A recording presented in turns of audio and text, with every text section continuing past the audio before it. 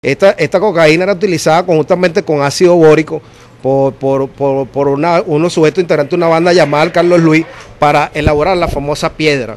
Eh, tenemos acá, les voy a mostrar para que vean cómo aquí está la parte de la droga, parte del, del ácido bórico y igualmente eh, este sujeto cambiaba droga por artefactos artefacto electrodomésticos. La banda de Hermiono y la banda del Mauri. Supuestamente pertenece a esta droga y, y este copeta. ¿Estos son azotes del barrio? Azote del barrio del sector La, la, la Constituyente.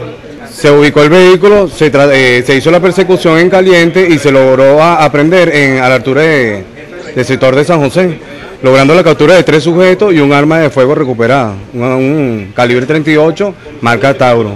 Y lo- lo- los nombres de los tres detenidos son Leonel Antonio Camacho, José Rafael Acevedo y Wilmer Vizcaya.